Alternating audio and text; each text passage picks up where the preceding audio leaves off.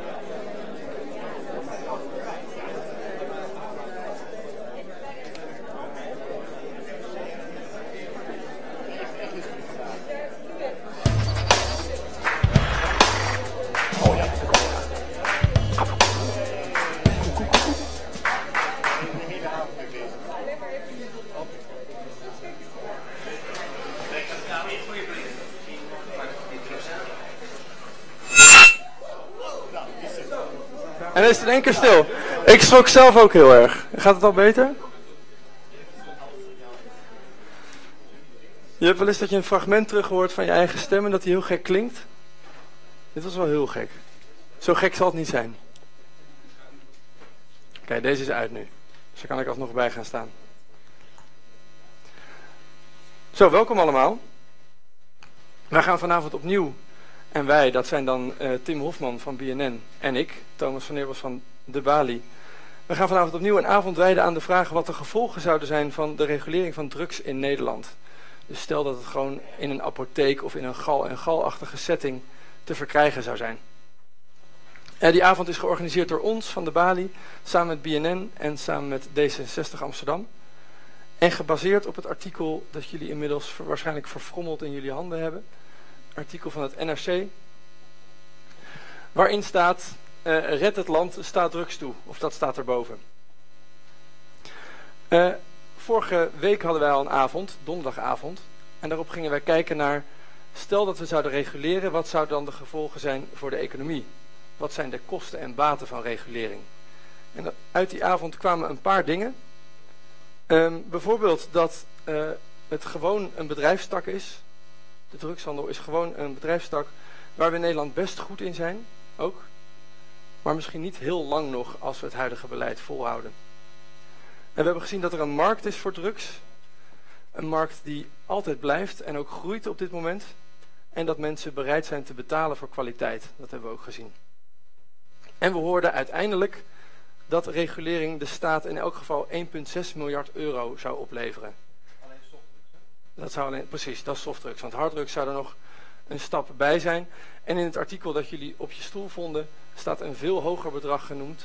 Uh, namelijk uh, de re redenering dat als uh, wij als land jaarlijks 30 miljard euro kwijt zijn aan misdaad, en de helft van die misdaad is drugsgerelateerd, dan kun je uitrekenen dat het decriminaliseren van drugs enorme gevolgen zou hebben. Maar het is uh, 1,6 miljard is nog steeds lekker meegenomen. Vanavond gaan we kijken uh, naar de gevolgen voor de volksgezondheid. Die zijn natuurlijk eigenlijk veel interessanter, want dat gaat dan ook onszelf als gebruiker aan. Um, we gaan dus proberen om weg te blijven bij de gevolgen van drugs in het algemeen. Want daar hebben we al heel vaak over gepraat. Daar hebben jullie vast ook wel eens een keer iets over gelezen. Waarschuwende teksten met geheven vingertjes, of juist niet. Um, we gaan vanavond juist kijken wat zou er veranderen in die gevolgen voor de gezondheid als we drugs zouden reguleren. En die vraag gaan we stellen aan uh, Floor van Bakkum van de Jellinek, aan Frans Troutman van het Trimbos Instituut, aan socioloog en drugsprofessor in Rusten, Peter Cohen, speciaal voor ons overgekomen uit Frankrijk, heel chic. En wij wilden die vraag stellen ook aan criminoloog Ton Nabbe, maar die is ziek. belde hij mij vanavond op met die mededeling. En in plaats daarvan mag ik jullie verblijden met de aanwezigheid van Auguste Loor. Die zit hier op de eerste rij. En die heeft meegenomen een koffertje met daarin alle mogelijke uh, drugs. Dus voor diegenen van jullie die dat nog nooit in het echt gezien hebben, dan is dit de kans om drugs van dichtbij te bekijken. Misschien mag je het wel aanraken als je het vriendelijk vraagt. Hij is na, na het programma. Daar in de hoek is een mini-museumtje ingericht. Voor diegenen die extreem geïnteresseerd zijn. Alles is verteld, hè? Alles is.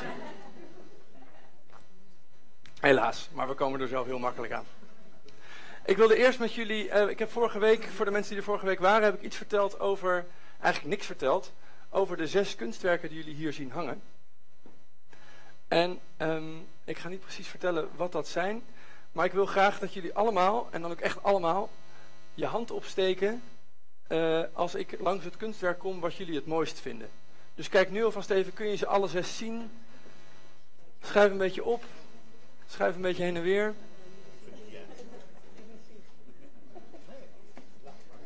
Ja, links achterin heeft problemen met deze hoek. Nou, dan doen jullie gewoon mee voor degene die jullie wel kunnen zien. Ja?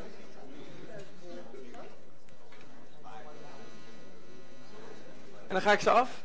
Heeft iedereen zijn, uh, zijn lievelingsfoto gevonden? Wie, vindt, wie van de aanwezigen vindt de foto helemaal links het mooiste? Eén iemand. Ja, wie vindt de foto daarnaast het mooist? Het zijn al wat meer mensen. Dan gaan we naar de helderblauwe. Prachtig is die, ja. En dan de zwart-witte. Ook drie vingers zie ik, heel goed. Eén laatste. Zie ik niet meer vingers dan er mensen zijn? Zijn er mensen die voor meerdere foto's gaan? Oké. Ook, een, ook een populaire. En deze voor, voor mensen niet goed zichtbaar. Ook de mijne, is dat? Um, wat Sarah Schoenveld, de Duitse kunstenares, gedaan heeft die deze foto's heeft gemaakt, die heeft uh, hele kleine deeltjes van verschillende drugs laten vallen op fotonegatieven. Dus dit zijn zes verschillende stimulerende middelen. En ze hebben daar onderzoek mee gedaan in verschillende verslavingsklinieken. En hebben ze deze foto's laten zien aan verslaafden. En die kozen bijna unaniem, vonden ze de foto het mooist van uh, de drugs waar ze aan verslaafd waren geraakt. Ja. Ik zal ze... Um, ik zal ze even, want jullie zijn nu natuurlijk wel geïnteresseerd waar je dan verslaafd aan bent. Um, dat is een klassieker, er was maar één iemand, dat is opium. Daarnaast, daarnaast hangt speed. Er waren al meer gegadigden voor. Dan hebben we hier, deze had enorm veel aantrekkingskracht en dat is heroïne. Um, die daarnaast, en dat was het leuke, want die werd ook door een van de aanwezigen in de verslaafde kliniek werd die aangewezen als uh, uh, het meest aantrekkelijke. En dat was de koffiejuffrouw. En dat was ook, dat is cafeïne. dus de drie brave borsten die die het mooiste vonden, die hebben alleen van koffie iets te vrezen. En, precies, je kunt het herkennen. Uh, en dan hebben we ketamine en, en cocaïne. Welke vind jij het mooist? Ik vond cocaïne het mooist. Voor een heel, uh, heel snelle avond. Ja, ja, precies. Ik ga er heel hard doorheen vanavond.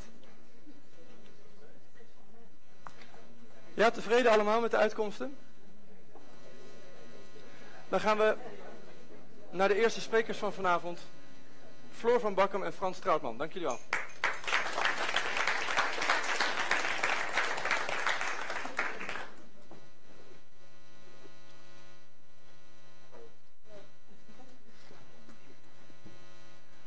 Jullie zijn allebei van um, instituten die proberen ja, wat, wat uh, preventie. Is dat het goede woord? Um, nou, Jellinek is, uh, we doen zowel preventie als natuurlijk uh, mensen helpen die inderdaad een probleem hebben met een middel en daar vanaf willen komen. Dus we zijn ook een verslavingskliniek.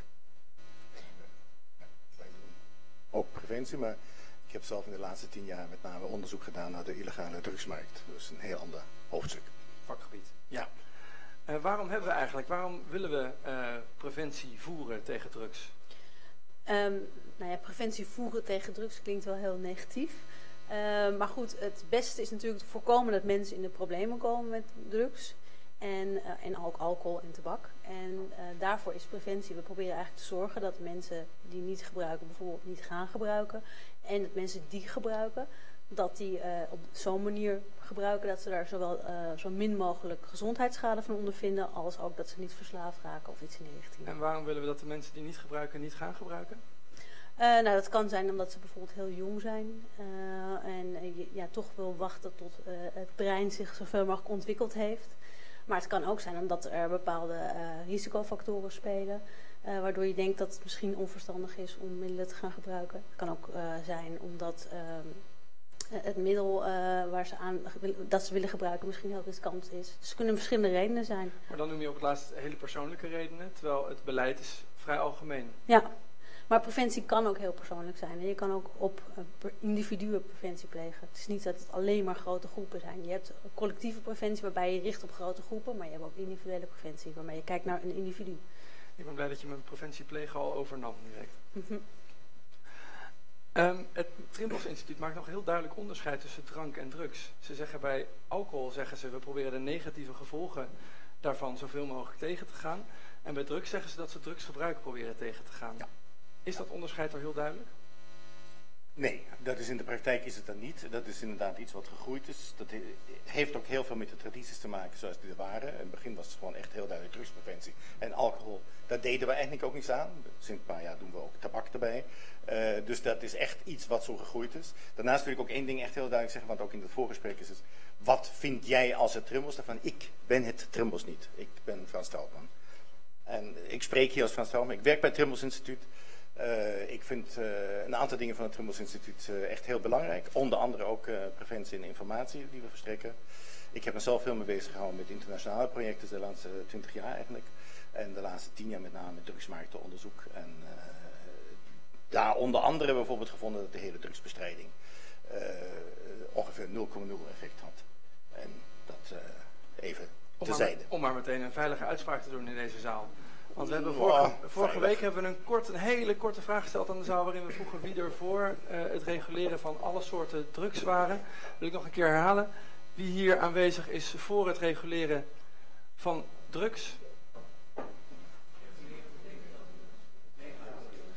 Uh, legaliseren is dat het helemaal vrij verkrijgbaar zou zijn. Reguleren betekent dat je het bijvoorbeeld zoals alcohol of medicijnen... Uh,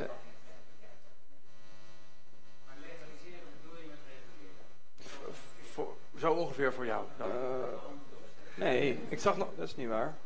Het is wel echt een onderscheid. Ja, vind ik ook. Ik vind, vind regulieren is inderdaad dat je met strikte regels dingen vrijgeeft. Bijvoorbeeld met verkoopregelingen, beperking van toegang, beperking van leeftijd, uh, et cetera, et cetera. Dat is reguleren. En uh, legaliseren is dat je gewoon, net zoals een, een reepje mars, je kunt naar Albert Heijn gaan en gewoon een reepje mars uit de schappen halen. En dat is dat is voor mij uh, inderdaad, ja. ja dan, heb, dan, hebben wij het vanavond over regulering. Ja. Um, wat maakt voor jullie, even, uh, wat maakt voor jullie, wat denken jullie dat factoren zijn, ja, wat maakt eigenlijk dat mensen drugs gaan gebruiken? Nou, ik denk dat er een heleboel redenen zijn. Um, dat kun je denk ik hier in de zaal ook wel vragen. Maar ik denk dat een hele grote groep uh, mensen beginnen met drugs gebruiken en alcohol gebruiken omdat ze het idee hebben dat het leuk is. En omdat het in veel gevallen ook wel positieve effecten heeft, laten we eerlijk wezen daarover.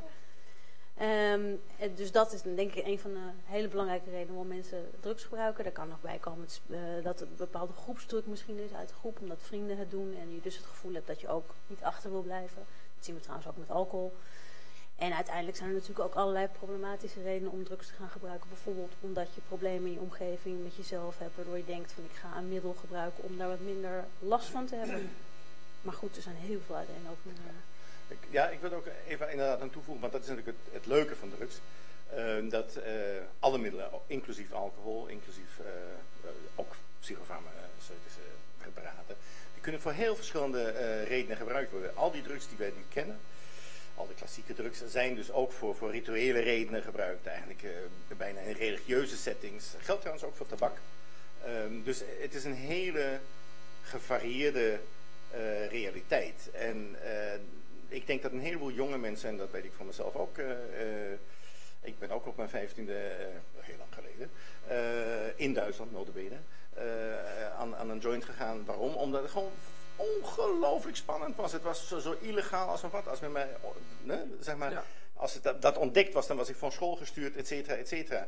Het was gewoon fascinerend. En, en, en, en al dat soort dingen jullie, speelt dat mensen, denken jullie dat mensen weten waarom... we- Denk je dat mensen zelf de redenen weten waarom ze drugs gebruiken? Of denk je dat wat nee. wij onszelf vertellen, dat dat ook de reden is dat we het doen? Niet altijd, denk ik. Zijn jullie zelf, eh, laat ik eerst jullie persoonlijk vragen voor regulering? Ja, persoonlijk wel. En eh, vanuit het instituut gezien, Trimbos en Jelinek? Vanuit het instituut spreken is altijd ingewikkeld. Maar? Eh, daar, daar, wat, ik- wat hij ook al zei, de instituten hebben verschillende meningen erover. Zijn, binnen het instituut eh, zijn verschillende ideeën. Ja, maar ik vind het toch nog. Ik vind dat ik. Leg eens uit, want jullie hebben wel slogans, jullie hebben wel principes, jullie hebben wel Ja. het.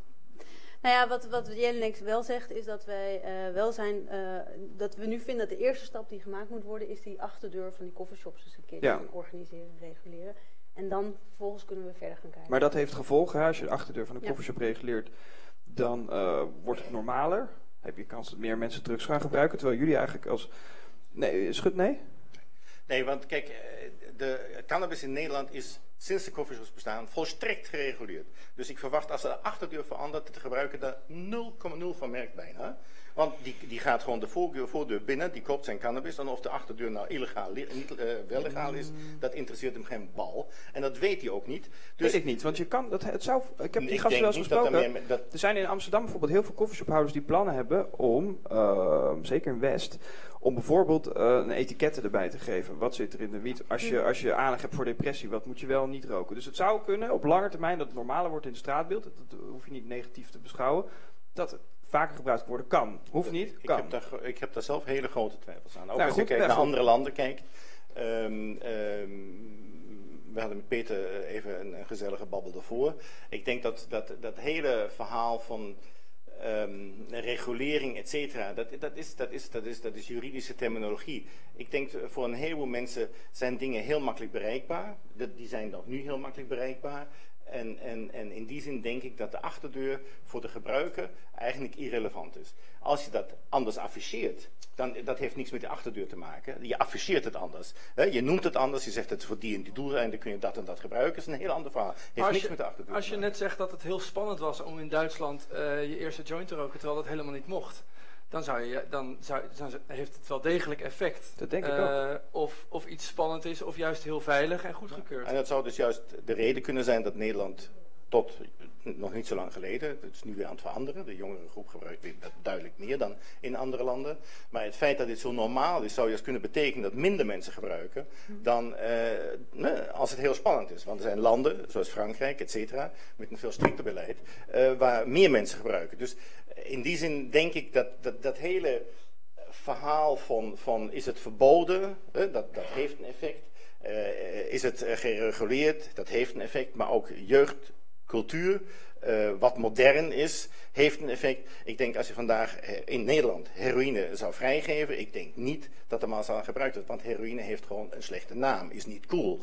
Dus Dus op het moment dat heroïne vrij verkrijgbaar is, denk jij dat er niet meer gebruikers ik zijn? denk dat de, de kans veel kleiner is bij heroïne, want het heeft momenteel, is gewoon momenteel niet aantrekkelijk. Je ziet dat ecstasy heel aantrekkelijk is. Steeds meer jongeren gebruiken ecstasy, omdat het aantrekkelijk is. En het is fucking illegal. Floor? Ja, nee, wat, wat, Frans denk ik ook probeert te zeggen is dat eh, of iets populair is of niet, veel meer te maken heeft met bepaalde trends in, de- in, in de, leefstijl, cultuur, dan dat het echt te maken heeft met of een middel legaal of illegaal is. Je ziet dat bepaalde middelen opeens populair worden en dan is er bijvoorbeeld helemaal niks veranderd aan de wetgeving, maar dat ecstasy bijvoorbeeld nu opeens populair eh, aan het worden is, terwijl eh, middelen zoals heroïne opeens minder populair worden of dat cannabis opeens aan het afnemen is, terwijl er eigenlijk niks verandert in wetgeving. En dat zie je ook als je de verschillende landen met elkaar vergelijkt, waar soms striktere wetgeving is, soms minder striktere wetgeving. Dus wij laten ons in ons gedrag ten opzichte van drugs nauwelijks leiden door wetgeving. Dat denk ik wel. En ook, en, maar ook bijvoorbeeld eh, door, eh, zonder licht door Amsterdam fietsen is iets wat veel gebeurt.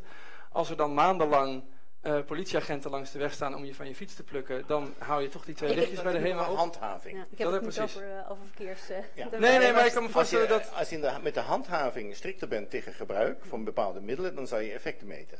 Ehm, maar dan nogmaals, dat zie je dus ook in andere landen waar bijvoorbeeld, noem maar wat, in de, in de tijden dat in Amerika de grote drooglegging was, de Big Thirst, hè, in de, de 20 jaar vorige eeuw, dan zag je dat zeg maar, de, de, de, de, de niet afhankelijke gebruikers, de, de, de, de, zeg maar, eh, niet eh, verslaafde gebruikers, die konden het vrij makkelijk laten staan, was te duur, was te riskant, daar zag je een afname. En bij de problematische gebruikers zag je geen afname, want die zijn afhankelijk daarvan in zekere zin. En dat maakt dat, dat, dat voor problematische gebruikers vaak eh, het beleid 0,0 effect heeft, omdat het daar niet grijpt. Mensen zijn Nee, dus voor gewoon... problematische gebruikers helemaal niet. En, voor de en eigenlijk zeg jij hiervoor ook, de, het gemiddelde gebruik zal wat jou betreft niet toenemen. Omdat een paar mensen vinden het minder spannend en een paar mensen vinden het iets makkelijker om aan te schaffen. En dat Ik denk dat dat een korte termijn plan is. Als je er 50 jaar overheen trekt en dat mag in Nederland en het wordt normaal en ouders zijn er akkoord mee, er gaan twee generaties overheen. Ik denk dat het anders wordt. Dat kan. Dat kan Maar maar- waar ik eigenlijk naartoe wilde is het feit dat Jelinek als, als, eh, als instituut dus eigenlijk daar heel erg stelling eh, bij inneemt door te zeggen van wij willen eigenlijk mensen die niet gebruiken niet gaan gebruiken. Waarom is dat? Wat ik al zeg, het is niet zo dat... eh, ehm, kijk, mensen moeten een weloverwogen beslissing nemen. Dus wij zeggen... Maar dat is toch met alles? Ja, nee, dat, maar laat me even uitleggen. Oké, is goed. Als jij onder de 18 bent, eh, dan eh, ja, ben je nog heel erg geneigd om beslissingen te nemen op het op spur of the moment, om maar zo te zeggen. Een vriend zegt van, nou, wil je dit gebruiken? Nou, dan doe je dat misschien.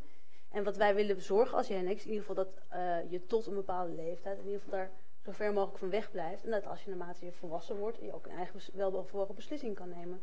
En als jij een goede overwogen beslissing kan nemen of je wel of niet eh, de risico's wil nemen van een bepaald middel, dan moet je dat doen. Maar dat doen we overigens ook met alcohol. Hè? Dat doen we niet alleen met illegaal Nee, nee, nee, dat Ja. snap ik. Maar de meneer naast je die zegt, eh, ja, ik deed het eigenlijk omdat het niet mocht. Ja, dat klopt. Ja, maar nogmaals, En, en ik, dan ik zou zeg de niet dat... dus dat- bijna averechts Ja, nee, dat, bedoel ik. Ik vind het zo'n. Ik snap dat je namelijk wil laten zien aan jongeren. ehm, eh, als je het gebruikt, doe het zo. Op Ja. deze, dat doen wij ook met spuiten Mhm. slikken. Maar wij zullen nooit zeggen gebruik niet. Of, en ook niet gebruik wel. Wacht, oh, Ja, maar jullie hebben denk ik een iets andere taak, toch? Als, Eh, om- basically, ergens, ergens natuurlijk niet. Ergens zijn we gewoon voorlichtend. Alleen wij, wij brengen het anders. Ja. Nou ja, goed, ik denk ten eerste dat ehm, de taak, eh, inderdaad, dat is ook iets wat natuurlijk een, een, een politiek gegeven is. De andere zaak, zaak is inderdaad, en dat weten we ook van onderzoek, dat als je vroeger gebruikt, dat geldt ook voor cannabis overigens, dat het inderdaad negatieve gevolgen kan hebben. Dat is gewoon, dat, dat, daar zijn prachtige eh, o- eh, onderzoeken Wat voor van. negatieve gevolgen? Nou, bijvoorbeeld ook de ontwikkelingen, eh, ontwikkeling van het centrale zenuwstelsel, et cetera. Dat, dat, dat En kan wat doet dat dan uiteindelijk? Nou, het kan eh, bijvoorbeeld, dat weten we voor een aantal middelen, dat het gewoon inderdaad de, de groei feitelijk, eh, zeg maar, wat, wat, wat, wat remt. En, en, en ik denk dat, dat die daar voorzichtig mee zijn. En ik zie preventie ook met name als voorlichting, dat je mensen vertelt over wat er gaande is. Dat je probeert mensen ook te overtuigen eh, dat, dat, dat, eh, ja, dat ze, dat ze, dat, het is een kwestie van een beslissing die ze moeten nemen. En wat ik over mezelf gezegd heb, ik zeg dat niet dat iedereen dat doet, maar ik denk dat voor een heleboel mensen gewoon geldt van iets wat lekker verboden is, is gewoon ook lekker. Dat is gewoon, dat is gewoon spannend. Dat is Maar dan boeiend. zou het gebruik dus eerder afnemen als je dat door zou trekken. Dat. Nee, dat- voor mij zal het misschien gelden. Ik zeg niet dat, ik, eh, dat iedereen zo reageert als ik. Dat is juist het fantastische van drugs, dat het gewoon zo verschillend is. Dat mensen uit heel verschillende redenen gebruiken. Ik vind ook het feit dat mensen bijvoorbeeld om problemen, om, om zichzelf te kalmeren en ze gebruiken middelen. We vinden het heel normaal dat je naar de, naar de dokter Mhm. gaat en, en eh, psychofarmaca haalt. Ja. En dat vinden, we, dat vinden we heel normaal. Dus we accepteren dat mensen dat soort stoffen gebruiken. Dat kun je ook met legale stoffen doen. Dat kun je ook met een glas whisky doen. Dat kun je dus ook met heroïne doen. Eh, dat is, het is gewoon een waardeoordeel wat je daaraan geeft. Maar mensen proberen Ja. eh, eh, zeg maar, hun leven te handelen. En daar, daar passen drugs in. Daar heb ik geen waardeoordeel over. Dat zou op een gegeven moment problematisch kunnen worden. Maar het hoeft niet.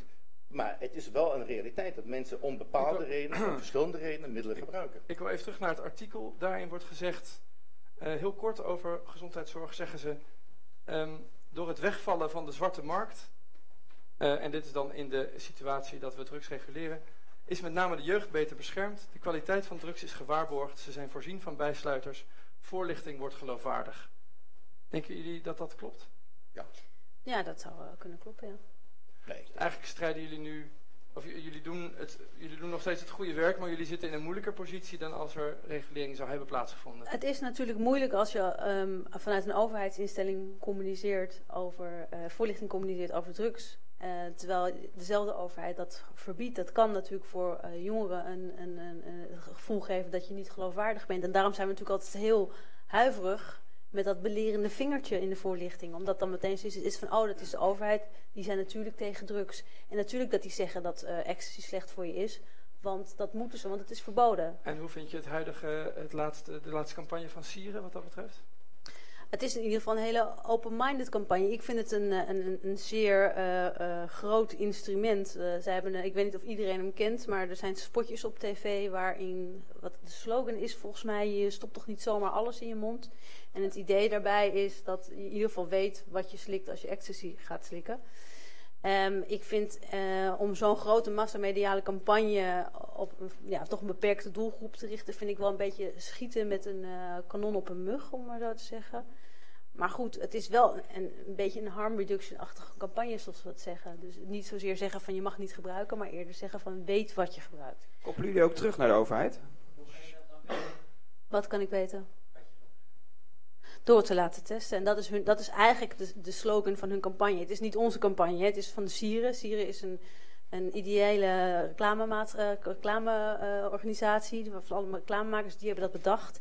En die willen daarmee eigenlijk promoten dat mensen hun drugs laten testen. Dat is het idee daarachter. En dat wil ik, daar wil ik even één ding aan vastzetten, want er zijn natuurlijk verschillende mensen, ook jullie zitten erbij. Eh, in Nederland bestaat het DIMS-project, het Drug Information Monitoring System. En dat laat precies zien dat, dat het beleid gewoon laveert tussen, tussen, tussen die verschillende polen. Van, we- het is nog steeds verboden, maar we laten wel pillen aanleveren. August weet er ook eh, alles over. Er worden pillen aangeleverd, die worden getest.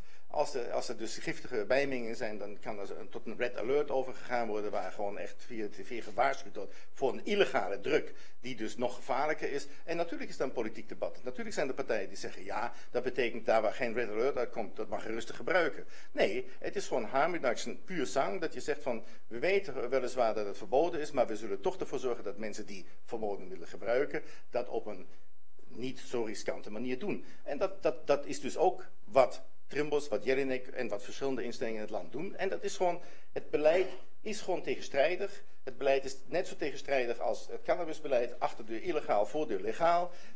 Wij, wij weten gewoon niet precies wat we daarmee moeten doen. En dat is, dat, is, dat is een politiek debat, dat hebben jullie volgende keer. Ik vind het wel een heel boeiend thema. Ehm, maar dat is gewoon, dat is de kern van het beleid, dat men dus geen keuze durft te maken. En dat inderdaad experts erover eens zijn dat regulering beter zou zijn, dat de regulering inderdaad Ja. ervoor zorgt dat de markt zuiver is, eh, dat de middelen gecontroleerd worden. Als je een flesje bier koopt, weet- je in grote lijnen wat erin En, zit. en dat, daar, bent u, daar bent u het allemaal mee eens? De kwaliteit verbetert ook bijvoorbeeld? Natuurlijk, dat denk ik Koppelen zeker. jullie dat ook terug naar de overheid? Want dit is, jullie Ja. dragen boodschappen uit. Wat zeggen zij? Weet je, het is natuurlijk. Ik, ik eh, stel me al voor, Frans Trautmann gaat naar de overheid. Wat is de overheid? Ik bedoel, de overheid, dat, dat- ik, ik spreek met ambtenaren, ik spreek met eh, politici, we hebben contact met politieke partijen, eh et cetera. dus in al die de debatten helder, komen, komen dat soort punten Ja. terug. En in al dat soort debatten communiceren we dat ook. En er zijn een heleboel mensen die dat ook absoluut zo realiseren, maar de realiteit is weer barstig. Je kunt gewoon niet en in Nederland is er gewoon simpelweg geen politieke meerderheid, maar dan zijn we al in het volgende debat. Eh, daar is gewoon geen politieke meerderheid voor. En that's it. En doen jullie dat ook vanuit jullie nek? We hebben natuurlijk altijd discussies over beleid en wat, ja, wat gewenst beleid zou zijn. Maar daarbij is het natuurlijk wel heel moeilijk in hoeverre eh, ga je het over dit soort dingen hebben. Soms moet je gewoon pragmatisch zijn en proberen te roeien met de riemen die je hebt. Ik vind het zo opmerkelijk dat hier twee mensen van twee hele grote organisaties die heel veel invloed hebben zitten, die zeggen reguleren zou beter zijn. En dat er nog steeds iemand als, als, eh, als eh, Art van de Steur eh, iets zegt als ja, ik ken iemand die dood is gegaan Ja, maar poli- politiek is niet altijd... Ik heb Ivo Opstelt er heel vaak over gesproken. Die man heeft geen idee waar hij het over heeft. Echt niet. Nee, ja, dat, Hoe kan daar dat dan? lopen wij natuurlijk ook tegenaan. Ja. Dat wij ook wel discussies hebben, vooral inderdaad over het wietbeleid dan met hun. Van Het is een hoe het verschil zou, aan macht, Ja. vrees ik zo. hoe het zou, wij het anders zouden, graag anders zouden zien dan dat zij het uiteindelijk uitvoeren. En waar zit dat dan in? Ideologieën, En de ideologieën die gaan boven gezondheid van jongeren. ja, in sommige gevallen wel. En Ja, in maar die, dat laten is we- dus eigenlijk een, een cirkel waarin jullie zitten, waarin jullie opdrachten krijgen vanuit overheden. Er zijn En die opdrachten oefenen jullie naar buiten toe uit. Jullie zijn zelf van, vanuit jullie expertise inmiddels een bepaalde mening toegedaan. Die probeer je zoveel mogelijk uit te dragen, maar binnen de grenzen die daartoe gesteld zijn. Ja. Maar dat en dat draagt me- mede bij aan het feit dat dat soort dingen Dat in stand blijven? zo Niet? niet? Als je gezondheidsopvoeding doet, dan doe je gezondheidsopvoeding. Dan vertel je in principe eh, wat eh, eh, de, de, de, zeg maar, de werking van een bepaald middel is, ook de schadelijke werking. En dat eh, middel wordt niet schadelijk of minder schadelijk als het legaal of illegaal is. Behalve door illegale bijmengingen dan, dat is een ander verhaal. Dus ik, ik eh verlogen mijn, eh, mijn visie niet. Ik wil wel erop wijzen dat als je op het terrein van bijvoorbeeld milieu ergens werkt, ehm et cetera, dat je precies hetzelfde doet. Je, je, je kunt natuurlijk 100% radicaal zijn en 100% overtuigd zijn dat het zo beter is. Maar de realiteit is gewoon niet zo. En dat geldt op tal van beleidsterreinen. Ja. En, en eh, ja, eh, anders zou ik zeggen, dan moet je gewoon even echt thuis eh, ja, hemp kweken en dan pullovertjes breien. Om deze eerste ronde even af te sluiten. Jullie zijn dus beide, voor de extreme duidelijkheid, voor het reguleren van alle soorten drugs. Gefaseerd, eh, invoer. Ook die, die, eh, die mooie blauwe pil waar we allemaal zo enthousiast van werden. Mag ik even één ding over zeggen? We weten dat opiaten eh, veel minder schadelijk zijn. En dat, kijk maar bij het RIVM, eh, die, hebben, die hebben prachtige eh, gegevens, prachtige rapporten uitgegeven. Dan zie je gewoon welke middelen schadelijk zijn. Dat is alcohol en tabak. Ehm, en dan volgen andere middelen. Dus, opiaten dus op zich. Dus in, Ja, in het op- kort ook, ook heroïne. Ja, want opiaten, het wonderbaarlijke is dat opiaten geen onherstelbare schade veroorzaken Ja. op het menselijk lichaam. En Dank- dat is natuurlijk heel boeiend. Dankjewel. Dan gaan we naar, de, Ja. naar een intermezzo. Ehm, er is namelijk iemand in ons midden en die heeft een tijd lang geprobeerd om de, een beetje de sociale norm, die inmiddels in deze zaal waarschijnlijk al anders ligt. Maar er is nog een sociale norm, in elk geval bij mij thuis, waarin alcohol bijvoorbeeld door mijn ouders enorm gestimuleerd werd. En eh, drugsgebruik hartstochtelijk afgeraden. En ehm, eh, uit, die, eh, uit die waarheid kom ik voort. En er is iemand die geprobeerd heeft om twee maanden lang de rollen om te draaien. Of dat in elk geval precies tegenovergesteld te doen. En daar gaat hij wat over vertellen. Dat is eh, freelance journalist van onder andere de Volkskrant, Haroun Ali.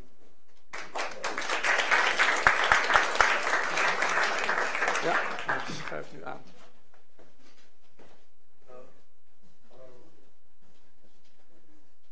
Hier als de min of meer functionerende drugsgebruiker. Even kijken.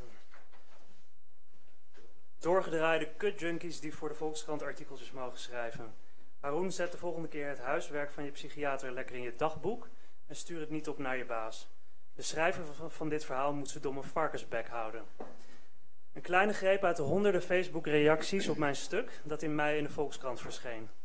Met een aantal collega's maakten wij een special getiteld Laten we het eens over drugs hebben.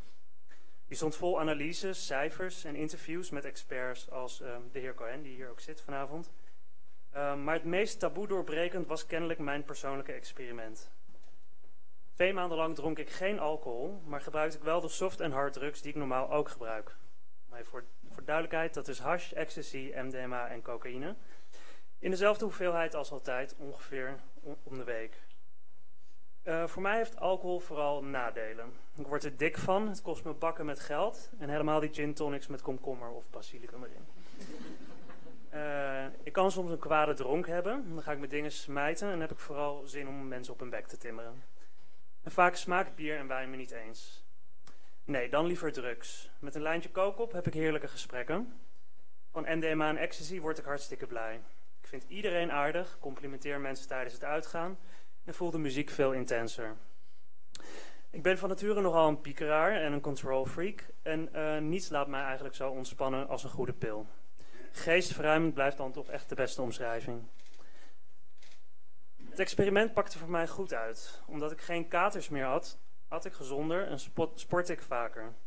Ik gaf veel minder geld uit in de horeca.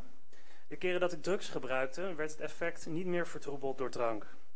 Natuurlijk heb je na het gebruik van MDMA en ecstasy soms de bekende dinsdagdip, maar ook die kon ik beter incasseren. Reacties vanuit mijn omgeving waren echter wisselend. Sommigen vonden dat ik me aanstelde over alcohol, wat is er mis met een paar drankjes. Na een paar weken werd men het zat om frisdrank voor me te bestellen. Doe nou gezellig mee. Hoe kon ik die nare, vernietigende en verslavende harddrugs verkiezen boven het onschuldige alcohol, dat in mijn optiek veel meer schade aanricht en op een veel grotere schaal? Over deze sociaal geaccepteerde volksverslaving mag je kennelijk niks zeggen. Ik geloof zelf erg in het motto: Don't knock it till you tried it. En ik kan dus niet zoveel, mensen met, kan dus niet zoveel met mensen die nog nooit drugs hebben geprobeerd, maar daar wel allerlei vooroordelen over hebben en iedereen kleineren die soms een pilletje of een lijntje nuttigt. In mijn stuk noemde ik die mensen leken, wat mij niet in dank werd afgenomen. Ik zou vinden dat iedereen aan de drugs moet, wat absoluut niet waar is. Iedereen moet zelf weten wat hij of zij wel of niet doet. Maar zet mij dan niet weg als een verslaafde, terwijl je zelf nog geen week zonder wijn zou volhouden. Felle reacties op het stuk laten zien hoeveel misvattingen er nog zijn over recreatieve drugsgebruikers. Sommigen noemen mij een oppervlakkige hipster, alsof drugs alleen in de grote stad wordt gebruikt. En ik zou omringd zijn door schimmige junks, omdat ik schreef dat de meeste mensen die ik ken wel eens wat gebruiken. Ik ben ook een zwakkeling, want ik zou, ik zou mezelf alleen leuk vinden onder invloed. Onzin natuurlijk, ik zet in het experiment, een persoonlijk experiment, niet echt wetenschappelijk, maar ik zet alleen de invloed van alcohol en drugs tegen elkaar af. Um, en volgens mij ben ik nuchter trouwens ook best te pruimen. Uh, de realiteit is dat veel Nederlanders tussen de pak een beet 18 en 45 wel eens met drugs hebben geëxperimenteerd en daar vaak positief op terugkijken. Het zijn nieuwsgierige, maar ook weldenkende en verantwoordelijke leden van de maatschappij. Niet alleen revende studenten, maar ook artsen, leraren en, weet ik uit eigen ervaring, heel veel journalisten. Um, ik heb met mijn artikel kennelijk een gevoelige snaar geraakt. Het stuk werd op de Volkskrant-site alleen al zo'n 100.000 keer gelezen. En ontzettend vaak gedeeld via sociale media. Ik word nog steeds aangesproken door mensen die mijn openheid over drugs destijds waardeerden. Zo vertelde iemand me dat ze uh, het stuk aan haar ouders had laten lezen om zo een gesprek over haar eigen drugsgebruik te beginnen. Nou, grappig, want ik heb mijn ouders, overigens geen trouwe Volkskrant-lezers, nog steeds niet over het stuk verteld. Misschien hebben ze het gelezen, maar hebben ze het mij niet verteld. Mijn schoonmoeder las trouwens het stuk wel uh, en vroeg bezorgd aan mijn partner of het wel goed met mij ging. Het is precies die angst waardoor veel recreatieve drugsgebruikers zo geheimzinnig doen, denk ik. Ben je, er ben je er open over, krijg je gelijk een bak stront over je heen. Uh, naar mijn mening wordt alcohol veel te rooskleurig beschreven en er wordt notabene reclame voor gemaakt. Um, maar het debat over drugs wordt nog steeds bepaald door veel negativiteit en vooral onwetendheid. Ik zou willen dat het een keer wordt omgedraaid. Kritisch kijken naar de wereldwijde schade die alcohol aanricht. En vooral niet vergeten dat drugs met mate en in goed gezelschap heel ontzettend leuk kunnen zijn. Dank jullie wel.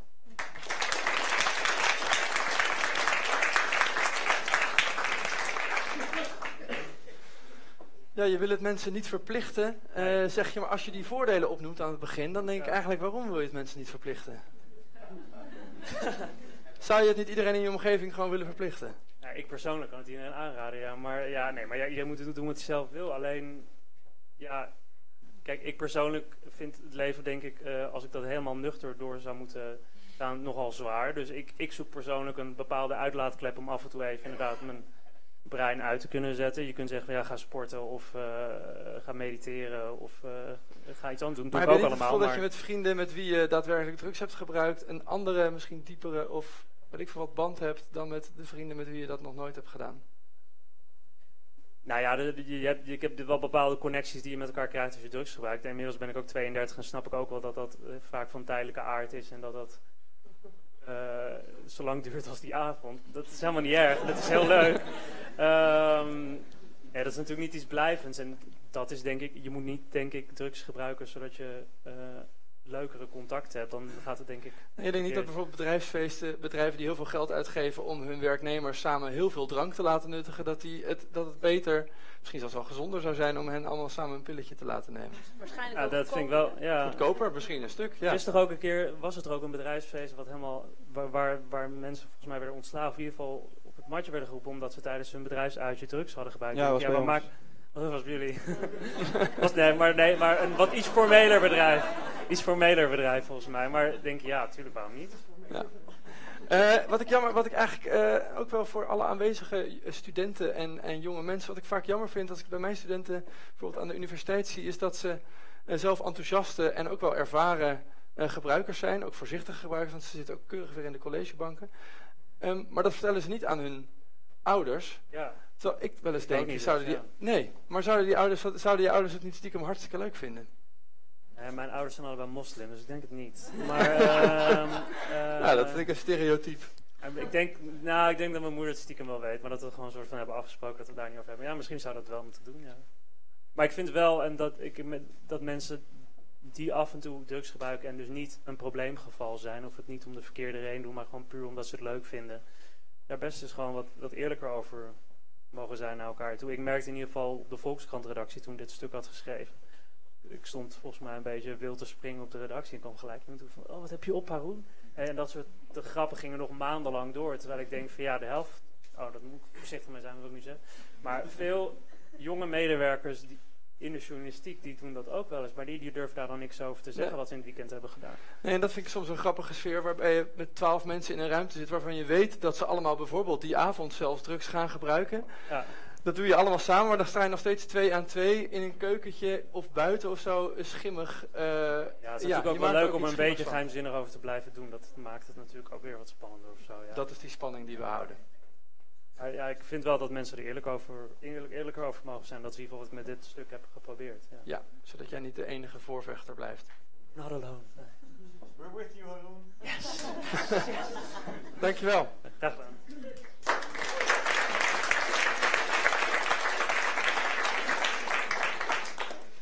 Ja, dan verwelkom ik van harte eh, Peter Cohen. Kom maar zitten. Ja.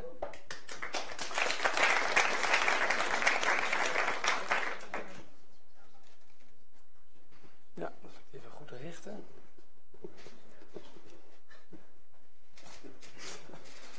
Keurig het boekje en het artikel meegenomen.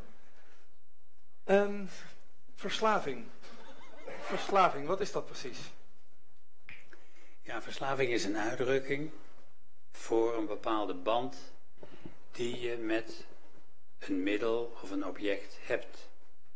Ik, eh, ik, ik denk al sinds 2000 over het begrip verslaving. En uiteindelijk ben ik er zover gekomen dat ik het zie als een vorm van conceptuologie die, die lijkt op die van de heks. De heks was vroeger een, een, een, een symbool voor het kwade, voor het onbegrijpelijke, voor contact met het kwade. Het woord verslaving is een symbool.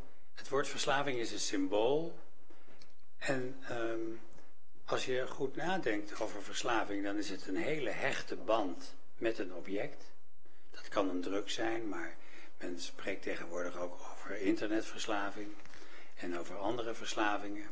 Het zijn hele diepe banden die mensen hebben met een object, maar het is een object dat in onze cultuur niet geaccepteerd wordt. Want als je verslaafd bent aan hardlopen of aan werken, Ja, dan wordt dat minder snel als een verslaving gezien. nee, als je een hele diepe band hebt met je poes, dan zal niemand roepen hij is verslaafd aan, eh, aan zijn poes. Maar als je die poes weghaalt, zo, Terwijl als je die poes weghaalt bij iemand, dan, eh, en bijvoorbeeld zoals bij GHB, en je, daar is afkicken best wel gevaarlijk. Als je die poes weghaalt, dan is er weinig aan de hand met die Nou, fysiek, met die man of ik- vrouw. In Beetje, Frankrijk, huilen. in Frankrijk werkt voor mij een, eh, een man, die neemt zijn poes mee als hij voor mij komt werken. En eh, de manier waarop hij over de poes praat. En Ik denk dat we de metafoor van de poes vrij snel weer los moeten laten. Ik raak, Nee, nee, nee. ik raak er enorm onrustig van. Ik, ik, ik wil de banaliteit van die diepe bindingen en de gewoonheid ervan onderstrepen met die poes. Want eh, er zijn ook bijvoorbeeld mensen die echt van de kook zijn als hun, als hun partner is gestorven, maar ook hun huisdier. Ik bedoel, je maakt dichte, diepe banden En zijn, met Maar is dat niet iets anders dan een fysieke afhankelijkheid? Fysieke afhankelijkheid, dat is een mythisch begrip. Je kan, Laten we, maar dan wil ik gelijk even horen wat hierop... eh ik ga even voor zitten. Zou daar, daar zou ik iets omzichtig mee omgaan. Eh, we weten bijvoorbeeld, uit, eh, er zijn hele be- beroemde studies van Amerikaanse veteranen in, eh, uit de Vietnamoorlog, die eh, in Vietnam heroïne hebben gebruikt op een manier die wij verslaafd zouden noemen. Ehm, eh, die terugkeerden en inderdaad ehm, konden stoppen zonder problemen, maar die wel degelijk maagkrampen, et cetera, et cetera, dus lichamelijke verschijnselen hadden. Dus er zijn lichamelijke verschijnselen, dat is gewoon niet te ontkennen. Maar omdat de verandering in realiteit voor hen zo groot was, was het stoppen Nee, makkelijker? nee, het is denk ik, er is een hele leuke theorie, een leuk, leuk boek van, van Mr. Zinberg over drug, set en setting. En, en drug, dat is dus het middel, de kwaliteit van het middel. Eh, set is de mindset waarin je het gebruikt en setting is de, de situatie waarin je gebruikt. En dat waren gewoon soldaten die daar gevochten hadden, die geen link hadden met heroïne thuis. Die in die setting dat gebruikten en in een hele andere setting terugkeerden. En dan was het middel zeg maar niet meer zinnig voor hen ook. Dat zie je ook bij mensen die aan de morfine verslaafd zijn eh, als, als pijnbestrijding. Die kunnen het middel ook vrij makkelijk laten staan, hebben wel degelijk ontwenningsverschijnselen, maar kunnen het middel laten staan. Dus dat- omdat ze in een hele andere setting, ze hebben het voor een heel duidelijk doel gebruikt. En dan, als het, als het wegvalt, dan is ook dat doel dus weggevallen. Dus in die zin, Ja, ik vind... Ik, wil, ik zou even, Ja. Floor, voor jou, eh, jullie, hebben, jullie behandelen verschillende verslavingen, maken jullie onderscheid tussen lichamelijke en niet eh, En geestelijke verslaving. geestelijke ja. verslaving? Ja. Ja. zeker. Er zijn bepaalde middelen inderdaad, wat, wat eh, hiernaast ook al gezegd wordt, waar je inderdaad wel die eh, lichamelijke afkikverschijnselen van hebben, zoals we dat dan noemen. Eh, en middelen waar je dat niet bij hebt. Eh, maar goed, dat, dat, dat lichamelijke is maar van hele korte duur. En dat is ook vaak niet het probleem. Eh, dat kun je, eh, ten eerste kan je dat goed begeleiden. En er zijn ook allerlei medicijnen die je kan geven om bepaalde wer- bijwerkingen weg te nemen. Het, het echte proces begint pas daarna. Dat je dus inderdaad die geestelijke afhankelijkheid, dat je daar. Maar het feit dat heroïne zo enorm en direct lichamelijk verslavend zou zijn, is dus niet het grootste probleem van heroïnegebruikers. Nee, als dat, als dat het grootste probleem was, dan, eh, dan ja, behandel je die mensen een korte periode. Dan waren ze van die ontwenning af. En dan was het probleem opgelost. Maar eigenlijk begint het probleem daarna pas dat je moet leren om zonder dat middel verder te leven. En er zijn in de literatuur zijn dus ook echt voorbeelden te vinden van mensen die eh, vrij geregeld heroïne gebruikt hebben over een vrij lange duur. En, en die niet dagelijkse gebruikers waren, die niet als junk geëindigd zijn. Dus de, de realiteit van middelengebruik is veel diverser dan is voorgesteld. En de- dat soort verhalen van drie keer heroïne gebruiken en je bent dat is gewoon onzin. Dat, dat, dat, dat bestaat dus niet. Dat Dat, is echt, dat, eh, dat wilt u ons wel meegeven. nou ja, dat, ja nou, nou, kijk. de- Allemaal drie keer mogen we. Nee, dat is onzin. Maar ik, zeg, ik zeg juist dat idee dat een middel, dat je dat vaker gebruikt en dat je dan automatisch hoek bent, dat is gewoon nonsens. Omdat de hele situatie een rol speelt. Je mindset, wat je nodig hebt, wat je verwacht. Al dat soort dingen spelen een rol. En, en dus alleen maar het middel toedienen is, is, is, is betekenisloos eigenlijk. Peter jij hebt eh, heroïne in een Volkskrant-artikel even verslavend genoemd in theorie als vioolspelen. Ehm, denkt u dat er als eh, heroïne makkelijker verkrijgbaar wordt, dat er dan meer heroïneverslaafden zullen komen? Nee, helemaal niet. Ik heb, ik heb al 40 jaar geleden gezegd dat als heroïne te koop was in het postkantoor, toen bestonden er nog postkantoren, zou het niet verkocht worden. Ik heb daar ook een, een, een- een gegeven over. In, in Nederlands-Indië woonden ongeveer 300.000 Nederlanders. Op een bevolking van 60 miljoen Chinezen en Javanen. En eh, in Nederlands-Indië was vanaf 1648 of zo opium verkrijgbaar. Het is steeds beter geworden. De Nederlandse overheid maakte hele goede rookopium, die bijna van alle onzuiverheden en vezels was. Ehm, de Nederlanders, dat waren jeneverdrinkers en tabakrokers. De Javanen, daar rookten een paar procent van opium en die rookten kretek. Ook wel tabak, maar meer kretek. Nederlanders, die konden dus in een volkomen legale situatie voor heel weinig geld ten opzichte van hun inkomen, want het was veel hoger dan dat dat veranderde de hun gedrag niet daadwerkelijk. Nee, dus de beschikbaarheid, de legale toegang, en daarom spreek ik ook liever van legalisering dan van regulering, want regulering is een heel vaag begrip.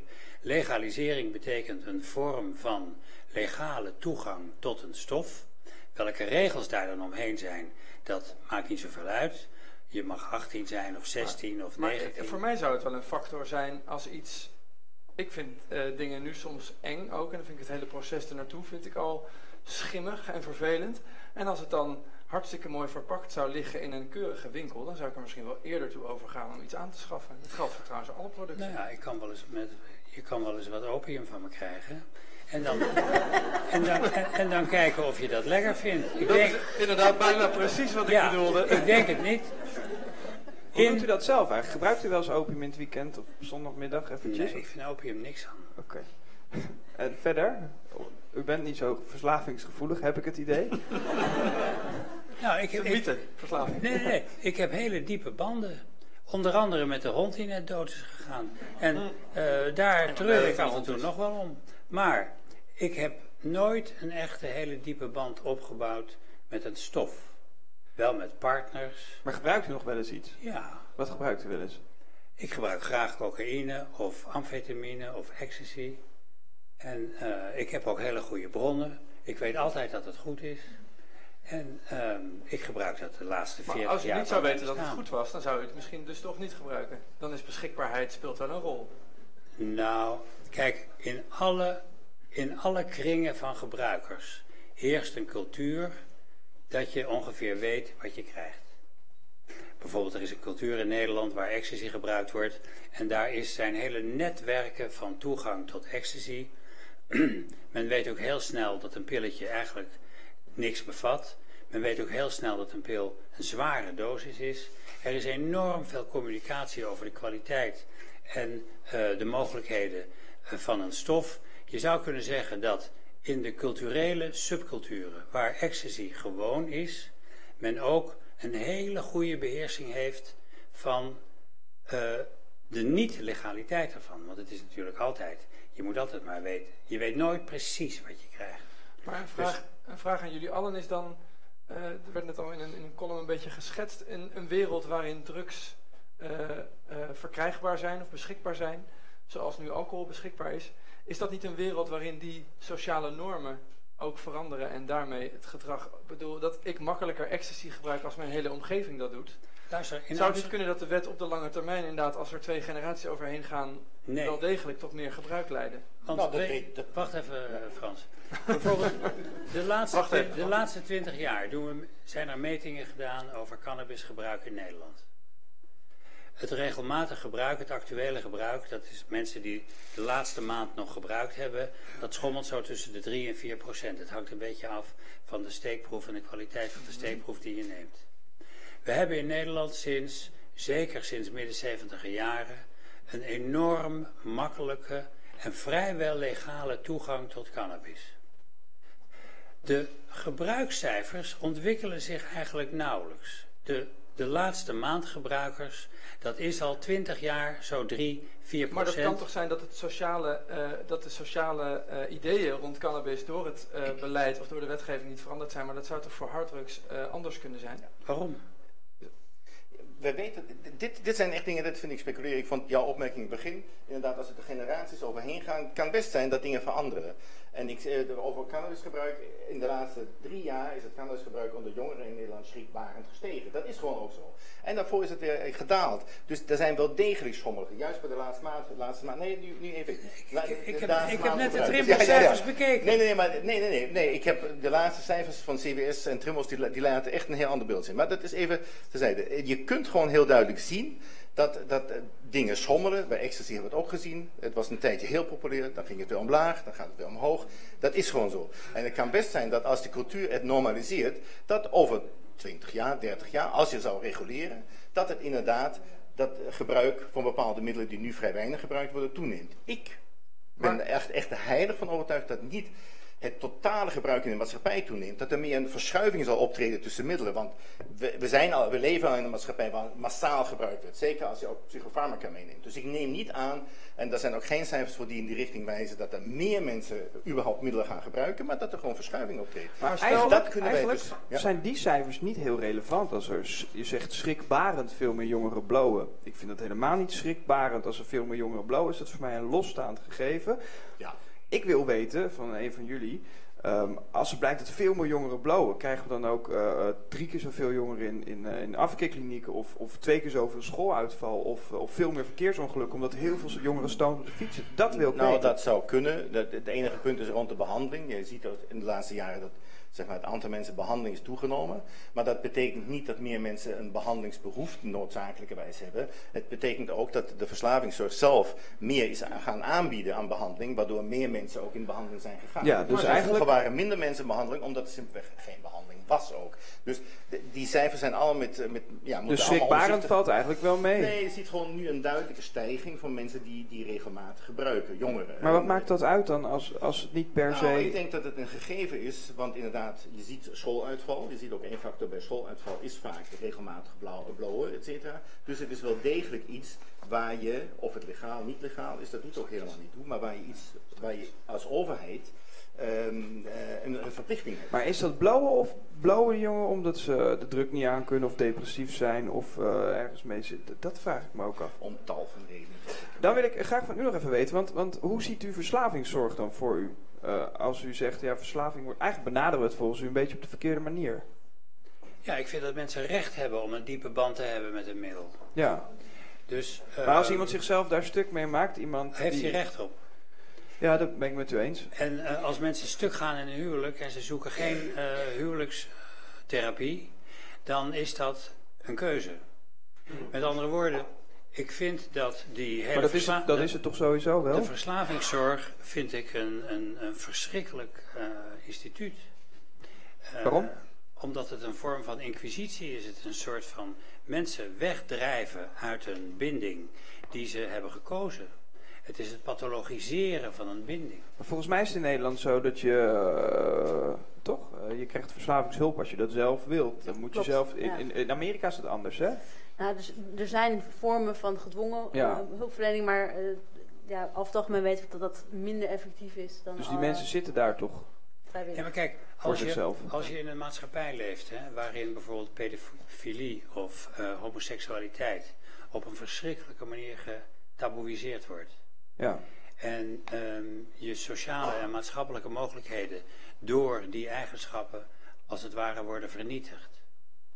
Dan is dat een heel ander lot als je leeft in een maatschappij waarin deze eigenschappen gewoon worden geaccepteerd.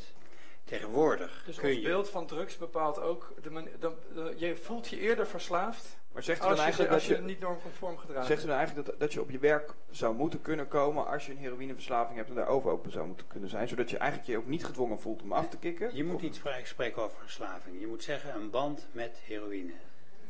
En ehm, Nou, we Als lachen, je- maar het als was je- niet vergeten als je- mensen steeds. als je een band hebt met heroïne, dan maakt het helemaal niks uit. Je kan heel goed werken met een band met opiaten. Zolang je dat werken maar doet en er Nee, en als, je, als, uitziet. als er een cultuur is waarin die eigenschap van jou, het hebben van een band met Puccini of met heroïne, als gelijkwaardig wordt beschouwd, dan is het ook helemaal niet erg om erover te praten. Het wordt verschrikkelijk moeilijk om te praten over banden als die banden illegitiem zijn of illegaal.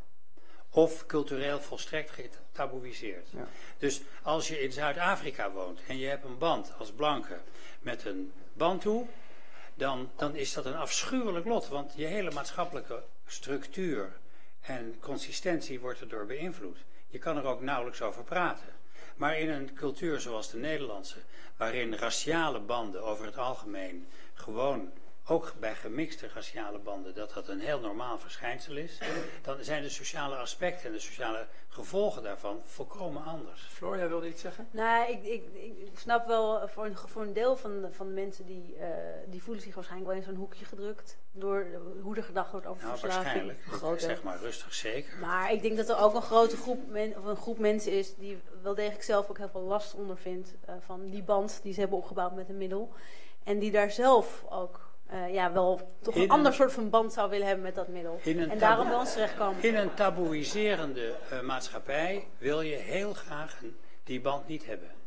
Als je, als je in een maatschappij leeft, zoals bijvoorbeeld in het Midden-Oosten, en je bent homoseksueel, eh, ja, dan zou je nou, heel keer. graag die band, dat soort banden niet Ja, willen. ik ben het eens met wat u zegt eigenlijk. Ja. Maar, eh Ja, Floor, ik- even, ik wou nee, het ik, ook- ik ga ja. even, ik, Ja. ik ga nu iets zeggen.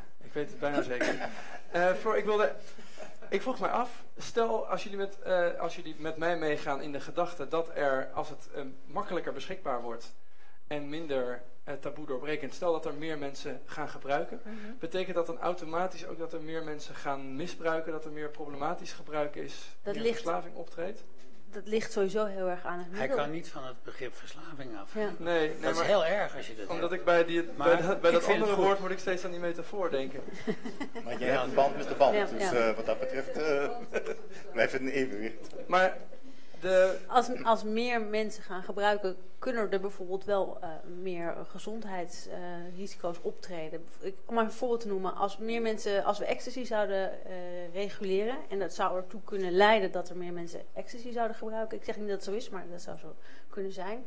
Dan is het natuurlijk wel zo dat, dat doordat er meer een grotere groep ecstasy gaat gebruiken, dat er ook een grotere groep is die misschien toch een, een kwetsbaarheid heeft voor het middel. en dat is er- niet een vast percentage. Je kunt niet Dat zeggen als we niet. 100 mensen het Dat proberen, dan is Dat weten we niet. Ik 8 kan, kan, 100. kan nu wat roepen, maar dat, ja, ik weet dat gewoon niet. En Dus- zeker, er is natuurlijk een combinatie van, doordat je het reguleert, kun je natuurlijk kwaliteitscontrole op het middel uitvoeren. Kan je zorgen dat er goede voorlichting komt. eh, en dat mensen weten wat ze gebruiken. Dus je weet welke dosering je gebruikt. En eh, je kan goed voorlichten over hoe je de risico's zoveel mogelijk kan beperken. Maar dat wil nog niet per definitie zeggen dat je daarmee alle risico's Er is uitgebannen geen hebt. automatische correlatie bijvoorbeeld als er 100.000 eh, alcoholgebruikers bij komen, dan komen er ook eh 2000 eh, alcoholverslaafden op de lange termijn. Nou ja, we, we weten bijvoorbeeld bij alcohol, bij veel, veel middelen dat het zo rond de 10% is waarvan we zeggen dat de band een verslaving zou zijn.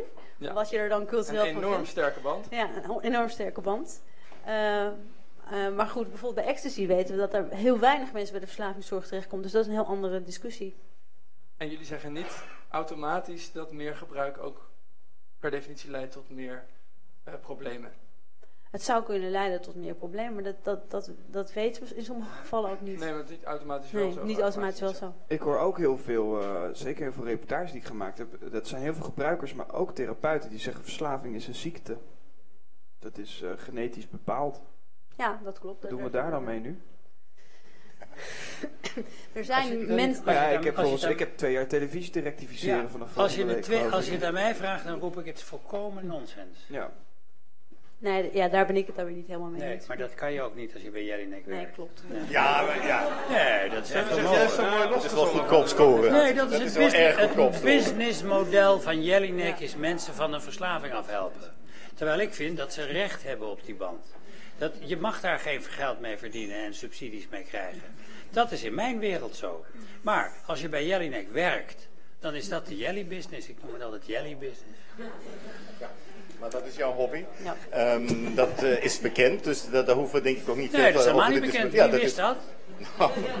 nou ja, wie hem voor het eerst ziet, die wist dat niet. Jij wist het, hè? Ehm, eh, ik denk dat het goed is om te zien dat er gewoon mensen die gebruiken in de problemen raken. Hoe je het nou noemt, band of weet ik veel wat. Ik maak nog steeds een verschil tussen iemand die fanatiek Puccini luistert en iemand die heroïne injecteert. Waarom? Eigenlijk- Omdat je Puccini niet kunt injecteren. nee, nee, maar nee, Ehm, maar- maar maak een grapje Nee, maar ik vind waarom- dat echt. is- Ik vind dat echt. Er zijn gewoon een aantal dingen die echt heel verschillend zijn. Want het middel heeft gewoon effecten op je functioneren.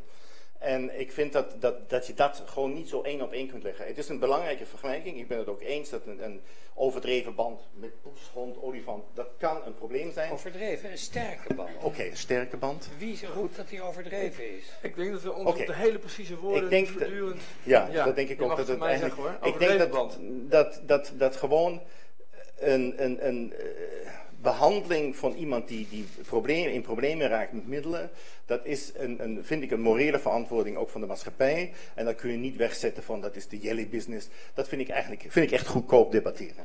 Ik, eh, ik wil jullie even onderbreken omdat ik naar vragen uit de zaal wil gaan. En ik wil jullie vast na laten denken over eh, de vraag...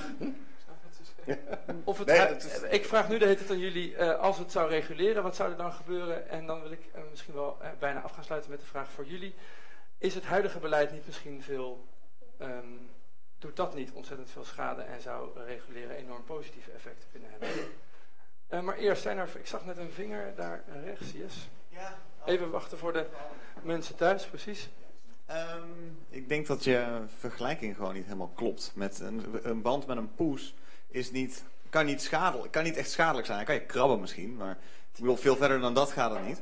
Maar bijvoorbeeld eh vergelijken met eh, paardrijden of eh, surfen of basejumpen of eh, skateboarden. Ja, enkels breken, met je kop tegen een deur, weet ik veel wat je allemaal, eh, of onder golven, hap, uit, hap van een haai. Dus ehm, daarom was die discussie net ook een beetje raar, denk ik. Omdat je dus, eh, je moet het wel vergelijken met iets dat een risico voor je heeft. Dat vind ik niet. Ik vind dus dat de intensiteit van de band op zich het belangrijkste, de belangrijkste determinant is. En de gevolgen. Kijk, je kan ook heel erg verliefd worden en rare dingen gaan doen en, vers- en, en verstrooid tegen een lantaarnpaal aanlopen. En je bril gaat stuk en er komt een stuk glas in je oog en je bent blind aan je rechteroog. Je kan overal gevaren bij maken en bedenken. Eh, die zijn er ook heel vaak. Maar ik wil niet over de gevaren praten. Ik wil over de intensiteit en de validiteit en de legitimiteit van de band. Maar we mogen. Maar jij zou jongeren. Stel dat een, een rage wordt om te bungee jumpen zonder touw. Dan onder jongeren, want die doen gekke dingen. Dan zou dat niet iets zijn waar we misschien een soort van preventief beleid op moeten voeren. Informatie over moeten geven. Bungee jumpen zonder Dat heeft, hij, touw. heeft, heeft u dat, dat heeft u niet gezegd. Dat heeft u niet gezegd. Dat is niet wat hij zei. Hij zei alleen dat er een taboe ligt op verslaving of op een sterke band hebben. En eigenlijk wat ik denk dat u zegt, is dat er een taboe ligt op de gevolgen van een sterke band hebben. Niet eens op een sterke band hebben. Nee, nee, nee. Want kijk, als je een hele sterke Nou, band, nee, maar, nee, maar wel. Want als u- Niemand. als u- als je een hele sterke band hebt met een opiaat, ja. er zijn culturen waarin dat volstrekt normaal is en ook helemaal geen gevolgen heeft. Eh, in de Chinese cultuur, in de Turkse cultuur, in de Perzische cultuur waren er mensen die dagelijks opiaten namen en daar verder helemaal geïntegreerd. Het was in Engeland volgens mij nog zo begin vorige eeuw, is het niet? Ja, in Engeland, eh, dat is het- Engeland is het, het patronen van opiumgebruik toch anders dan in Perzië en in Turkije. Maar er zijn vormen van normalisering waarin mensen van elkaar accepteren dat ze die banden hebben, waardoor het vrijwel zonder taboeiserende of eh, uitsluitingsachtige gevolgen blijft. Met andere woorden, je kunt nooit de gevolgen van een band evalueren als je niet de context daarbij heel duidelijk meeneemt. Zijn er andere mensen die je vragen durven stellen? Hebben? Ja? Dapper.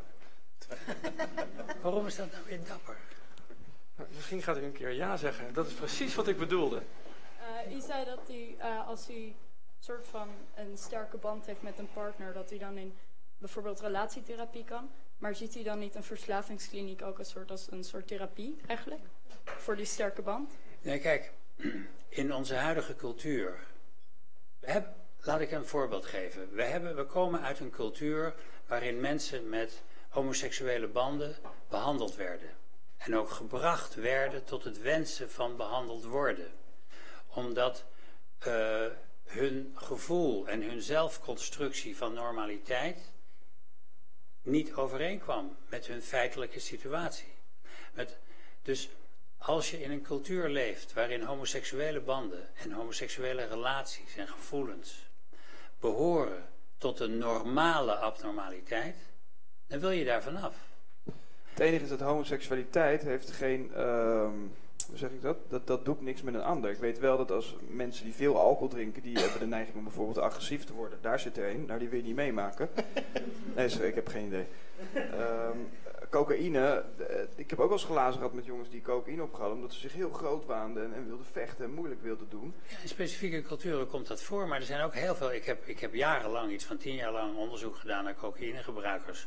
En de patronen van cocaïnegebruik, waarin het helemaal ingebed is in een heel rustig, normaal bestaan, komen veel vaker voor dan dit soort dingen. Maar het komt natuurlijk voor.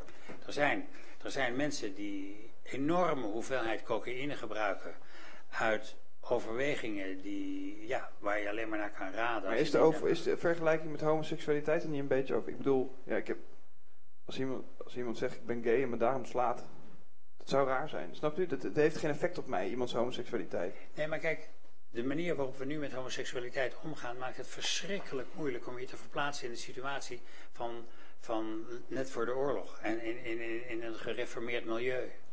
Het, ehm, het zijn van homoseksueel kan enorm schadelijke gevolgen hebben voor degene die het overkomt. Maar Toch, Net- is, net toch, zo is het, schadelijk. toch is het geen correcte vergelijking, denk denken nog steeds over drugs. Op die manier. Ja. Eh, denken we, ja, ik zie nog een vraag trouwens. Eh, denken we nog op die manier over drugs, zoals we hier zitten? Eh, is drugs dan nog steeds iets... Zoals de potloodventer in de 50 jaren vereenzelvigd werd met een homofiel. Zo, zo denken wij nu over drugs? Want ik zie namelijk... ik zie, app, ik zie appgroepen voorbij komen. Studen, een student liet mij laatst een appgroep zien... waarin een meisje aangaf... eh, ik eh, wil misschien wel niet mee naar dat feestje... want ik heb het gevoel dat daar een bepaalde sfeer hangt... en ik weet niet zeker of ik helemaal met jullie mee kan in alles. Zij verexcuseerde zich voor het feit dat zij niet, eh, geen drugs gebruikte... aan een hele grote groep mensen waar dat kennelijk een norm was. Ik denk dat het, zoals wij hier zitten... dat het beeld wat jullie van de drugsgebruiker schetsen, dat het helemaal niet meer zo bestaat. Maar ik weet niet wie. Ik heb, ik heb, ik heb iedere dag, ik heb iedere dag spreken. Komen, komen gebruikers langs. Met hoofddoekjes, alle, alle sociale klassen, leeftijd, etniciteit komt bij mij binnen. En dan ziet u toch allemaal, nog een. Allemaal hebben ze één ding gemeen. Het mag niet verteld worden. Aan wie dan ook. Eh, en dat is, dat dat is Wie, nou, is, dat, is dat even met. eh, wie, wie voelt zich hier beperkt in het delen van. eh, nou, dat is een lastige Maar vraag, hier is natuurlijk wel een bepaalde setting. Ja, dat snap ik ook. Nee, maar Dus dat, maar dat is wel de setting waarin wij hier in Amsterdam bijvoorbeeld Ja, leven. Wie Maar kan, hier, wie kan hier tegen zijn moeder zeggen, ik heb gisteren MDMA gebruikt? Gewoon op zondag. Wel zeggen. Mij moeten liggen. Wie kan het gewoon zeggen? Maar ik heb gisteren een pilletje genakt. Dat is het voordeel van het urbane milieu. Daar, daar, Dat is, nou, dat is wel. Een grote groep, leek mij. Ik zag nog een vraag. Nog één vraagje aan de heer Cohen. Eh, ik vroeg me af of er ook culturen zijn waarbinnen sigaretten geen schadelijke gevolgen hebben. sigaretten hebben bijna geen schadelijke gevolgen. Ja, Ja, dat doe is- dit nou niet. Ik wil jullie niet aan alles laten twijfelen, dus vraag me niet. Oh, ik, ik ben ongeveer tien jaar bezig geweest met onderzoek naar tabak. Ik heb ook gewerkt voor de advocatenkantoren die tabaksfirma's Sigaretten hebben geen schadelijke gevolgen. Nauwelijks. In verhouding tot de luchtvervuiling en de hoeveelheden. Nee, nee, we hebben het alleen maar over sigaretten, Maar, niet over maar goed, in ieder geval, je kunt. Ik, roep, ik maak altijd een grapje. De, Maar de- u denkt echt, eh, want eh, Laten we het leek een hele tijd een act, maar de, u zegt nu echt serieus Ja. dat sigaretten geen Ja, schadelijke nou, gevolgen hebben. nou, In vergelijking tot alle andere dingen die we doen. nee, maar moet je luisteren. Moet je luisteren. Laten we nou niet alles overhoop willen halen. Want ik wil het graag over, nu over drugs hebben. En over de manier waarop we daarover hebben leren denken. Het verslavingsbegrip. eh, Wat ik allemaal Maar daar denk, zei, daar zei u allemaal allemaal dingen over waar mensen instemmend zaten te knikken. Ja, en toen zei u ineens sigaretten nee, hebben dit is te onconventioneel. Ik wil daar ook verder niet over praten. Het is, het is ehm. Maar stiekem, moeilijk. maar stiekem wel even gezegd hebben. Ik wil het wel gezegd hebben, maar ik wil er niet op doorgaan. Ik vind Nee, de dat, andere nou, onder- dat vind ik altijd Ik heerlijk vind- om te doen. Maar Ik nu u iets andere- in een taboesfeer. Nee, het is, het is. Ik moet te veel inhalen. Ik bedoel, ik heb er in Amerika een aantal debatten over gevoerd, over nicotine en over tabak. Dat waren zeer emotionele debatten met mensen die. ehm, Wacht even hoor, want we zijn er nu toch per ongeluk over aan het praten. Ja. Ik denk, En ik Ja, moet er nee. niet over doorgaan, want Nee, het, dat is, lijkt me heel het is te ver weg. Maar ik- onthoud dat gaan we nog een keer... de keer mogelijkheid bestaat dat tabak nauwelijks schadelijk is. Ja. we hebben nog één fanatieke roker onder ons. De laatste, laatste opmerking van August Rodon. Tabak is niet verslavend, filtersigaretjes zijn verslavend. Nou, wijze, wijze woorden van de wijze heren die ik vanavond voor jullie heb uitgenodigd. Drie keer heroïne gebruiken. Sigaretten zijn niet zo erg en... Sigaretten wel, maar... Sigaretten hartstikke verslavend. Hartstikke Maar tabak niet. Tabak niet. Dat kan altijd. Ik wilde naar de, naar de slotvraag. Ik wilde een laatste rondje vragen doen. Ehm, namelijk, eh, als jullie het zou hebben over het schetsen van de gevolgen die jullie allemaal overduidelijk als niet negatief zouden zien van, eh, van regulering van drugs. eh, wat zijn dan eigenlijk de gevolgen van het huidige beleid en zijn die schadelijker voor ons, voor onze gezondheid? Aan wie stel je die vraag? Eh, eerst aan Floor, ja. Ehm, Nou ja, zoals je al eerder zei, ik denk dat het heel, ehm, ehm, wat, er momenteel moeilijk is aan het feit dat heel veel dingen illegaal zijn, is dat er dus weinig eh, discussie kan plaatsvinden over gebruik. Want je moet eerder kunnen zijn over je gebruik om daar goed over te kunnen praten en over eh, eventuele uh, risico-reducerende maatregelen te kunnen praten. En, en daarnaast, ja, wat we ook weten bijvoorbeeld bij de ecstasy-markt, de kwaliteit van de middelen zelf zijn door het verbod natuurlijk heel slecht voor ons te reguleren. je kan, als je een ecstasy-pil koopt, weet je, als je het niet laat testen, niet wat erin zit. Niet zoals bijvoorbeeld bij alcohol, waarbij je in, de, in de winkel het kan kopen en kan zien wat, er wat erin zit qua percentage alcohol. Maar ook, je hebt er geen bijsluiter bij. En dat zijn dingen die je natuurlijk door het te reguleren wel kan regelen. Maar goed, we moeten ook niet naïef zijn. Het is natuurlijk niet zo dat door regulering alle problemen die we misschien nu ondervinden van harddrugsgebruik die nu illegaal zijn, dat die dan opeens weg zijn. Er zullen nog steeds incidenten zijn. Er zullen nog steeds doden vallen. En dat moeten we ook niet uit het oog een kleine, een, een, kleine verbetering dus in kwaliteit en de, en de mogelijkheid om dat te controleren. Ja, het zou in ieder geval goed zijn om eens een keertje out of the box te denken met elkaar en eens een keertje een open debat met politici te voeren over of dit nou wat we nu doen het meest uh, politici en dat, en het uh, meest zinvolle is wat we kunnen doen. En tenslotte uh, het, het, het je verslaafd voelen als een groot onderdeel van misschien verslaafd zijn. Dus als ik computerspelletjes speel in mijn eentje op de bank, nou, dan voelt dat Ik denk dat, dat in, in bepaalde termen uh, um, meneer Cohen ook wel gelijk heeft. Ik denk dat inderdaad heel snel geroepen wordt over iets dat een verslaving is. Um, dat dit niet in alle gevallen ook het geval is. Ik ben alleen niet mee eens dat we helemaal niet over verslaving kunnen spreken. En dat er helemaal niet een probleem hoeft te zijn bij verslaafden. Nou goed. Frans, voor jou dezelfde vraag? Nou, ik heb uh, eigenlijk hier niet zoveel aan toe te voegen. Ik denk inderdaad dat de kwaliteitscontrole uh, op het middel, dat, dat, dat zie ik echt als, de grootste, uh, het grootste voordeel. Dat je gecontroleerde productie hebt. Die uiteindelijk mogelijk maakt dat mensen beter gecontroleerd kunnen gebruiken. Ze weten gewoon precies wat ze kopen, wat erin zit, et cetera. Dus uh, dat, dat zal de gezondheidsproblemen duidelijk terugdringen. Daarnaast, het is gewoon uh, denk ik veel, over veel groter maatschappelijk front. We praten en ook onze ministers van Justitie praten altijd over de, de strijd tegen de georganiseerde misdaad, et cetera. Wij hebben een, een, een, een drugswetgeving gecreëerd die de georganiseerde misdaad creëert. En, en um, ja, da, dat, dat haal je gewoon weg op het moment dat je reguleert. En dat vind ik echt een heel belangrijk punt. Ik vind ook dat, en dan moeten we ook over de coffeeshop rustig nadenken we hebben eigenlijk een soort, het is natuurlijk een beetje raar, we hebben een illegale achterdeur. Dus er komt iets illegaal binnen en verlaat legaal de voordeur. Ja, in andere kringen wordt dat witwassen genoemd. Um, we, we, hebben problemen gecreëerd met ons beleid. En ik denk dat dat gewoon echt heel belangrijk is om daarover na te denken van wat doen we met die problemen. En we weten dus waar het oude beleid schadelijk is. En dan denk ik inderdaad, wat jij ook zegt, we hebben geen garantie voor de toekomst. Maar als je weet hoe schadelijk het oude beleid is, dan vind ik het eigenlijk nogal onintelligent om het oude beleid steeds met meer van hetzelfde voor te zetten. Ja. Peter, tenslotte, regulering is een goed idee. Ja, ik vind het vrouwenkiesrecht vond ik ook een goed idee. En, en, en, en het legaliseren van euthanasie ook.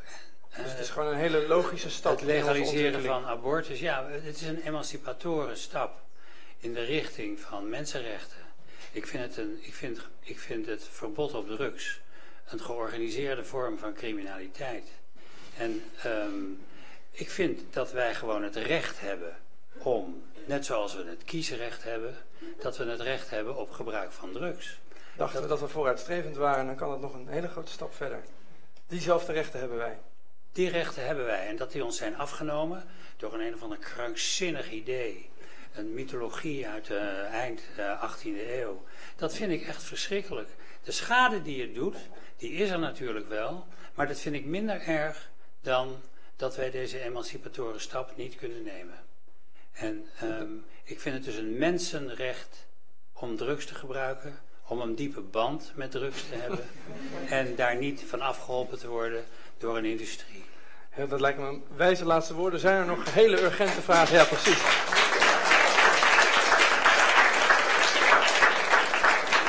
Nog hele urgente laatste vragen uit de zaal. Ik zie mensen al hun jas pakken, dus dat, dat, ga, dat ga ik ondersteunen, dat beleid.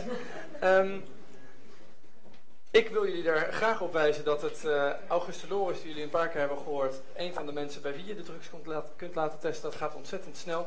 En die heeft u dus links voorin een piepklein uh, drugsmuseum ingericht voor de mensen die daarnaar willen kijken. Um, op 20 september, op 20 september, dat is een zondag om 8 uur, dan gaan wij de uitkomsten van deze eerste twee gesprekken voorleggen aan de enige groep mensen die eigenlijk nog onze, onze stap vooruit in de weg staan. En dat zijn politici. En dat zijn bijvoorbeeld de Tweede Kamerleden van de PvdA en van D66, Marit Vonk en Vera Bergkamp. Dat zijn twee burgemeesters, uh, namelijk de huidige burgemeester van Breda, Paul de Pla, en oud-burgemeester van Maastricht, Onno Roes. En dat zijn Amsterdamse raad, raadsleden Jan Paternotte en Diederik Boomsma. Dus uh, het lijkt me hartstikke leuk om met hen dan te kijken. Als we dit nou allemaal willen, uh, gaan we dat dan ook daadwerkelijk doen. Dat is zondag. Tot dan.